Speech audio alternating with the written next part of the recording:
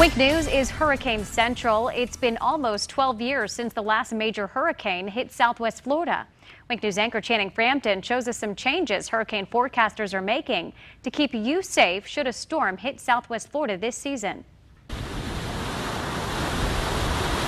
The National Hurricane Center is making it easier for you to prepare should a tropical storm or hurricane threaten southwest Florida. The, the National Hurricane Center is issuing a new product called the Storm Surge Watch and Warning. He says the new tool could save lives. Southwest Florida is one of the most vulnerable areas in the country for storm surge, and it's not just along the immediate coast. It actually extends tens of miles inland. They'll also be looking at movies from a new satellite called GOES 16, which will give them a better idea of how powerful a storm is once formed. That's why leaders and emergency managers from across the state are gathered here in West Palm Beach to make sure that everybody's prepared for the next storm. Nobody in southwest Florida has ever seen a real hurricane hit. Bryan Norcross is the senior hurricane specialist at the Weather Channel and wants southwest Florida to be ready. I mean, even with Wilma and Donna in 1944, none of them in the 20th century are what we would consider to be anywhere remotely near a moderate hurricane hit.